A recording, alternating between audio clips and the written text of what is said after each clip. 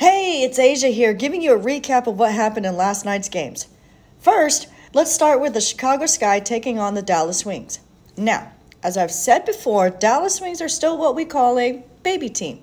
And yes, it's awesome that they finally made a playoff spot, but let's face it, experience is everything when it comes to the playoffs. And the Chicago Sky definitely have that. Kahleah Copper was definitely on fire for the Chicago Sky with 23 points for the night, and even Candace Parker had double double.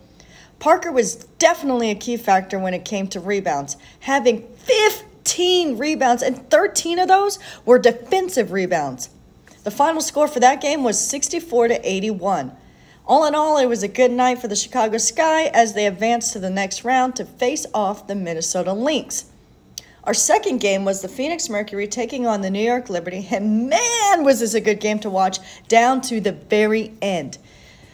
Phoenix did not have Diana Taurasi, who was out with an ankle injury, but you still had Skylar Diggins Smith, who came out with 22 points, and Griner grabbing them rebounds throughout the night. She had 10 rebounds the whole entire game, and eight of those included defensive rebounds. Now, in the end, the Liberty were not going to go down without a fight. If you want a game to get you on your feet, well, this was it.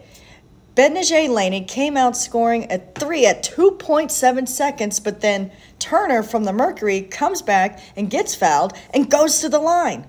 But then what does Ionescu do? She tried coming back with a three that misses at 0.4 seconds. It was a good fight for the Liberty, but they were eliminated in the first round, and Phoenix Mercury move on to play Seattle. Be sure to check out the second round games on Sunday, September 26th, when the Phoenix Mercury face off the Seattle Storm at 3 o'clock Eastern Time on ABC, and the Chicago Sky take on the Minnesota Lynx at 5 o'clock Eastern Time on ESPN2.